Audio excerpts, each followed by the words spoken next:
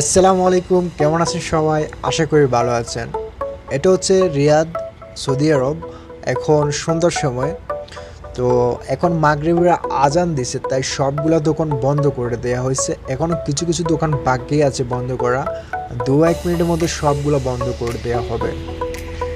তো এখানে দেখতে পাচ্ছেন অনেকগুলা গাড়ি সারি সারি পার্কিং করা আছে। এখানে এভাবে গাড়িগুলো পার্কিং করা থাকে রাস্তার পাশে। তো আমি এখন যাচ্ছি বাসায়।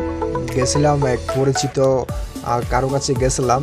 তো এখন আমি বাসায় চলে যাচ্ছি। আমার এখান থেকে বাসা যেতে প্রায় দশ মিনিট সময় লাগবে। তাই হেঁটে হেঁটে যাচ্ছি আমি গাড়ি আনিনি।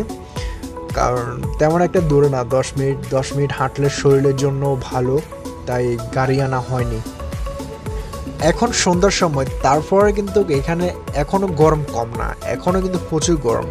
কারণ হচ্ছে সারাদিন রোদের গরমে যে বিল্ডিংগুলা কিংবা রাস্তাগুলো গরম হয়ে আছে, আর সন্ধ্যার পরে সেই বিল্ডিং রাস্তা থেকে গরমের তাপটা কিন্তু বের হয়। রাত দশটা এগারোটা পর্যন্ত কিন্তু গরম থাকে। দশটা এগারোটার পরে সবগুলো ধীরে ধীরে সবগুলো ঠান্ডা হয়ে যায়। সকাল সাতটা কিংবা আটটা পর্যন্ত। এরপর সাতটা কিংবা আটটার পর আবার গরম শুরু হয়ে যায়। এখানে রাস্তাগুলো অনেক সাবধানে পার হতে হয়। কারণ হচ্ছে গাড়িগুলো খুব স্পিডে চলে। নর্মালি যদি চলে তারপরও সত্ত্বেও, কারণ আশির নিচে কোনো রাস্তা নেই। তাই যেখানে আশির রাস্তা, ওখানে গাড়ি তো সত্তরে চলবে। তো ও কারণে খুব সাবধানে রাস্তা পার হতে হয়।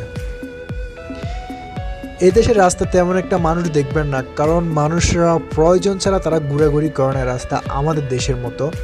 এখানে সব সময় রাস্তাগুলো পাকায় থাকে, শুধুমাত্র গাড়িগুলোয় চলে। মানুষের তেমন একটা দেখা যায় না। কোনো প্রয়োজন ছাড়া মানুষগুলো বেরও হয় না। আর এখানে বাইরে দেখতে পারবেন শুধুমাত্র বাংলাদেশি, ইন্ডিয়ান, পাকিস্তানি। এদেরকে বেশিরভাগ বাইরে দেখা যায়। আর সৌদিরা বেশিরভাগ বাসায় কিংবা গাড়িতে তারা এভাবে থাকে। আর যে দেখতে পাচ্ছেন বাসা, যে সামনে একটা বাড়ি আছে, ওই বাড়ির মধ্যে লাইট জ্বালানো হয়েছে। কারণ এখন সন্ধ্যা, আর সন্ধ্যার সময় সব বাড়ির মধ্যে লাইট জ্বালিয়ে দেয়, যাদের বাহিরে লাইটের সিস্টেম রাখছে।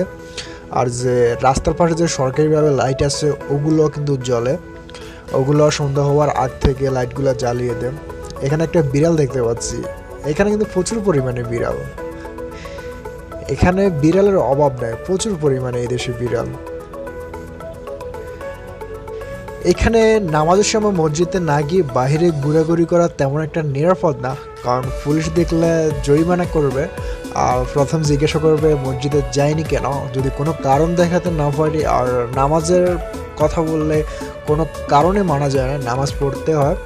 আর নামাজ যদি না পড়ে, যদি মসজিদের না গিয়ে বাইরে ঘোরাঘুরি করে, তাহলে পুলিশ দেখলে জরিমানা দেবে। حي على الفلاح قد قامت الصلاة قد قامت الصلاة الله أكبر الله أكبر لا সো আমি এখন প্রায় বাসার কাছাকাছি চলে আসছি আর এখানে আহ, একজন ইন্ডিয়ানের বাসা খোলা দেখা যাচ্ছে আমার বাসার পাশে আমি দেখি এখন তার বাসায় যাব দেখি ওরা কি করে